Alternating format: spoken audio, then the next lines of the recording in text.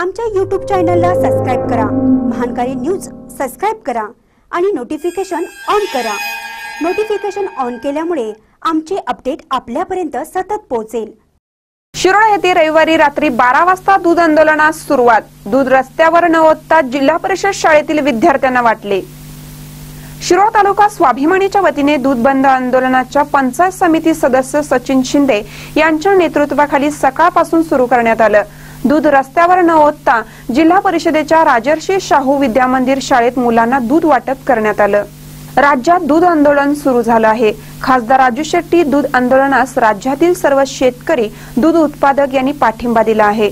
शिरोळमधील शेतकऱ्यांनी आज दूध बंद ठेवून पाठिंबा दिलाय.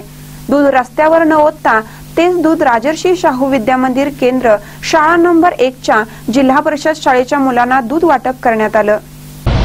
शेतकरी संघटनेने दुधाचं आंदोलन जे केलं आहे ते आम्हाला सर्व शेतकऱ्यांना मान्य आहे. आणि पाच रुपये हे लिटर मागं दर मिळालाच पाहिजे. आणि हे आम्ही सर्वजण दूध उत्पादक आहे.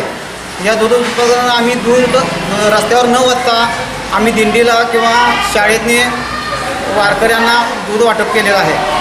दूध दरवाढी दूध दर वाढ झालाच पाहिजे. पाच रुपये दरवाढी मिळालीच मिळालं पाहिजे. आणि आम्ही सर्व शेतकरी शेतकरी संघटनेच्या पाठ- पाठिंबा दिलेला आहे. यावेळी शाळेचे मुख्याध्यापक कोळी यांनी पंचायत समिती सदस्य सचिन शिंदे आणि त्यांच्या सहकाऱ्यांनी राबवलेल्या उपक्रमाचे स्वागत केले.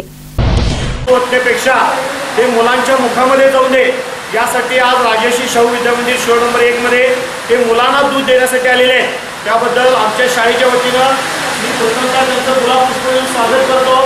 की असा चांगला स्तुत्य उपक्रम राबवून त्यांनी समाजापुढे एक आदर्श घालून दिलेला आहे.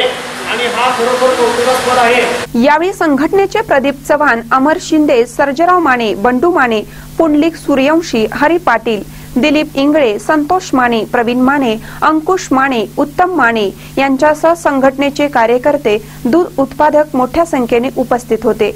महानकर न्यूजसाठी शिरोळहून संदीप इंगळे.